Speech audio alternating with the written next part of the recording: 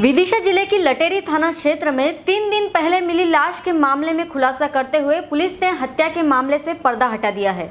Police ने मामले को सुलझाते हुए तीन आरोपियों सहित एक महिला को गिरफ़्तार कर लिया है। पुलिस ने खुलासा करते हुए बताया कि मृतक महिला का पति था और पत्नी के अवैध संबंध आरोपी युवक से थे, जिसके चलते आए दिन दोनों के बीच में झगड़ा हुआ करता था और इसी को लेकर योजनाबद्ध तरीके से महिला के साथ मिलकर प्रेमी और दो अन्य सहयोगी आरोपियों ने मिलकर घटना को अंजाम दिया था। बताया जा रहा है कि आरोपी मृतक युवक को मछली पकड़ने का बहाना बनाकर लटेरी लेकर आए थे और इसी दौरान युवक को जंगल में ले जाकर शराब पिलाई, साथ ही मौके पर ही युवक की गला रेत कर हत्या कर दी। इधर लटेरी पुलिस ने बहत्तर घंटे में ही मामले का खुलासा कर दिया। पुलिस की यह बड़ी कामयाबी को देखते हुए विदिशा पुलिस अधीक्षक विनायक वर्मा ने इस मामले में शामिल टीम को दस हज़ार रूपए इनाम देने की घोषणा की है। आपको बता दें कि मृतक गुना ज़िले के जामनेर का निवासी था, वहीं आरोपी भी गुना ज़िले के जामनेर के निवासी बताए जा रहे हैं। विदिशा से आशीष सहले की रिपोर्ट। कार्रवाई और क्या किस तरह से खुलासा हुआ? किसकी मुख्य भूमिका इसे सुलझाने में रही थी?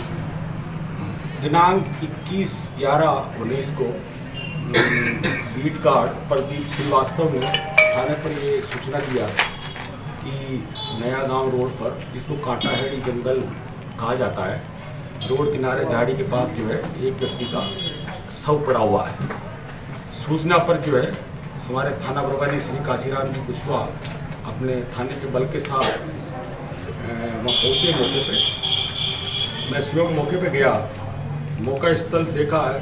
शव को देखने पर प्रथम दृष्टिया ये लगा कि इसके गले पे और पेट पर काफ़ी गहरे धारदार हथियार से जो है चोटे, चोटों के निशान थे, जिसके आधार पर प्रथम दृष्टिया हमने हत्या का मामला जो है पाया जाने से मौके पर ही जो है तीन सौ दो की एफ़ आई आर लेख की गई अज्ञात व्यक्ति के विरुद्ध क्योंकि अ, शव जो है अज्ञात था उस समय और इसके पश्चात जो है प्रकरण दर्ज करने के पश्चात इसकी शव का जो है पहचान करने के लिए हम लोगों ने जो है आसपास के गाँव वालों को जो है बुलवा करके प्रयास किया तो मृतक के शव के पास जो एक बीड़ी का मंडल मिला था, जिसमें मुनीम छाप बीड़ी का मार्का लगा हुआ था, उसके आधार पर वहाँ के ग्रामवासियों का भी ये निष्कर्ष था कि इस तरह की बीड़ी की सप्लाई लटेरी, शमशाबाद और विदिशा